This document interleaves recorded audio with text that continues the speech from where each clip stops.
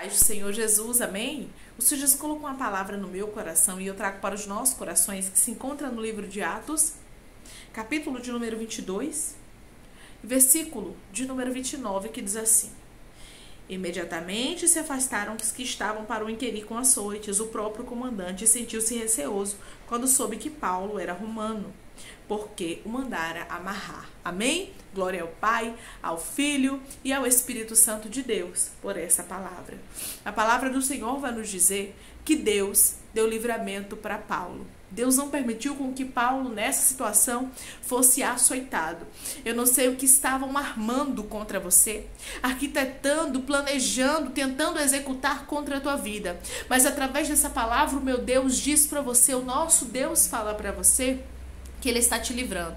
Como ele livrou a Paulo desses açoites, como ele não permitiu com que o comandante tocasse em Paulo e nenhum dos que com ele estava. Deus está dizendo para você: eu estou te livrando. Até armaram contra você, até arquitetaram contra a tua vida, mas eu vejo o meu Deus, o nosso Deus trazendo livramento para pessoas aqui dizendo eles não vão ramando canta, eles não vão te tocar. Eles não vão conseguir ter êxito contra a tua vida, pois eu, o Senhor, sou livramento na tua história. A Bíblia diz que ao saber que Paulo era cidadão romano, eles ficaram receosos, eles tiveram medo e soltaram Paulo, Deus vai fazer alguma coisa acontecer aí para os teus inimigos saber que Deus é na tua vida, sabia? Eu não sei o que, é que vai acontecer, mas existem pessoas que vão ver que Deus é na tua história e elas vão ficar com medo, elas vão ficar receosas de tocar em você. Deus vai permitir alguma situação para que pessoas temam em falar teu nome, para que pessoas temam tocar em você,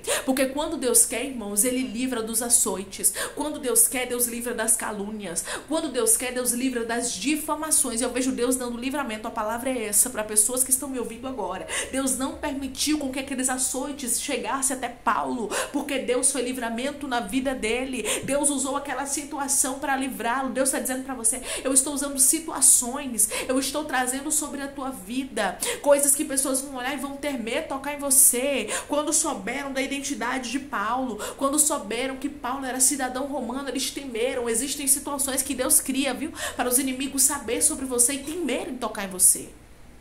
Porque eu vejo Deus mostrando poderosamente que é na vida de pessoas aqui. Declare comigo: Deus vai mostrar que está comigo. E pessoas vão temer se levantar contra a minha vida. Porque não é sobre você, irmãos. É sobre a presença que anda contigo. É sobre o Deus Aramando Canta Rabacanta que anda com você. O Deus que permite situações para assim te livrar. O Deus que permite situações assim para te guardar. O Deus que permite situações assim para que os teus inimigos não toquem em você. Através dessa palavra, Deus diz para você: Eu estou permitindo situações para que eles não te toquem. Para que eles assim temam, aleluia, diante da tua presença. Porque quando Deus quer, Deus usa de qualquer estratégia para dar livramento para o seu povo, viu? Não pense você que Deus não usa, não, porque Deus usa. Aqui Deus usou a identidade romana de Paulo. Mas na tua vida talvez seja um livramento, na tua vida talvez seja uma justiça, na tua vida vai acontecer alguma coisa que Deus vai mostrar para os teus inimigos que Ele é contigo e vai calar muitos deles que estavam se levantando contra você. Você chegou para você saber que Deus está falando contigo. Você chegou a dizer: Deus, eu não estou mais aguentando. Eu não tô mais aguentando tanto levante. Deus, eu não tô mais aguentando tanta calúnia. Deus, eu não estou aguentando mais tantas conversações com meu nome. Deus está dizendo: fique em paz, minha filha. Fique em paz porque eu sei o momento certo para paralisar esta pessoa afrontosa. Lembra que quando Davi estava ali diante de Golias, a Bíblia diz que Golias afrontava, ele era afrontoso, viu? Ele afrontou Israel durante 40 dias, irmãos. Pela manhã e pela tarde ele vinha afrontar Israel. Mas quando ele estava diante de Davi também, ele afrontou Davi. Mas Davi ali se levantou em nome do Senhor e Deus derrubou aquele gigante. Deus está dizendo para você: vai ser no meu nome que eu vou derrubar esse gigante. Pode estar tá vindo com afrontas, pode estar tá vindo com ousadia contra você, mas o Senhor vai parar. Declare comigo hoje: o meu Deus está paralisando os meus inimigos. Deus não deixou com que Golias tocasse em Davi. Deus não deixou com que o comandante, os homens que com ele estavam, tocassem, açoitassem Paulo. E o Senhor disse para você: Eu crio situações para que pessoas não te toquem, porque a vontade delas é te tocar. A vontade delas é realmente ver você sofrer. A vontade delas é realmente executar o plano maligno delas, mas o Senhor diz para você: Eu te livro. Não precisa, rabacanta, canta você temer. Existem pessoas que estão recebendo livramento agora de Deus. Porque Deus sabe criar situações. Vai ter gente que vai olhar para você de longe e vai dizer: Eu não vou mexer com ela, não. Eu não vou mexer com ele, não, porque eu já vi que Deus é na vida dele. Porque eu já vi que Deus é na vida dela. Deus vai começar a mostrar que é contigo.